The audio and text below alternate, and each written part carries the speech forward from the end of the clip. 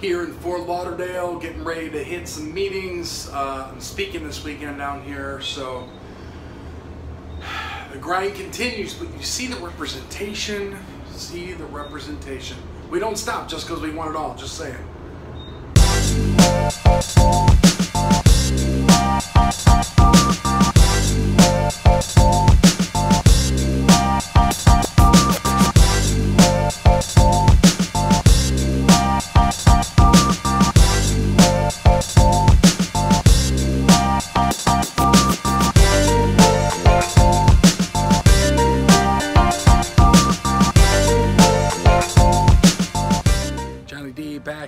In South Florida, so I just wanted to kind of give you a heads up and let you know this is where I come to get a little inspiration, motivation, and all that good stuff. As you can see, I'm surrounded by some good sized yachts, but that's not the real big one here.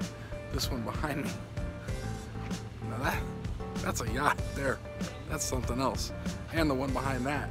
I don't know if you can see that, but anyway. Um, so I just wanted to see from you guys where you guys might get your inspiration from. Uh, put it in the chat below.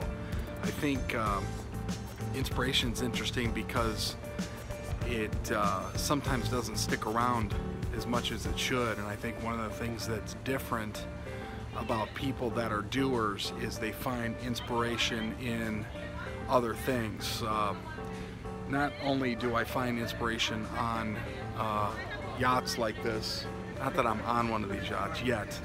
I might be on there. They may want me to be on there as a hand model or something along those lines. But uh, um, anyway, but I think the people that are doers are find inspiration in everyday things. Like for instance, the palm trees behind me, or you know maybe not the huge yachts, but these aren't bad as well. But uh, I just want to point that out to you. I think that um, uh, inspiration is something good to have, but if you find it waning uh, day by day, you've got to find a way to inspire yourself. Uh, that word inspire is kind of taken from in spirit. Uh, I learned that from Dr. Wayne Dyer, and I think that that's something that uh, you've got to be in spirit. I think athletes call it being in the zone, and uh, certainly when you're around these things, you're you're in the zone for sure. So anyway, um, that's this edition of uh, Street Cred, and uh, I just thought I would inspire you a little bit. So get inspired.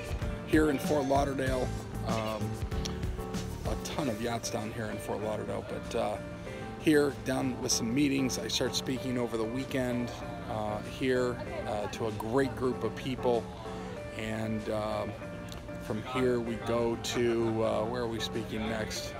I'm home for a week or two, and then we go to Dallas. So doesn't stop. The hustle, the grind keeps rolling. But get inspired. These boats don't inspire you. Once again, those might.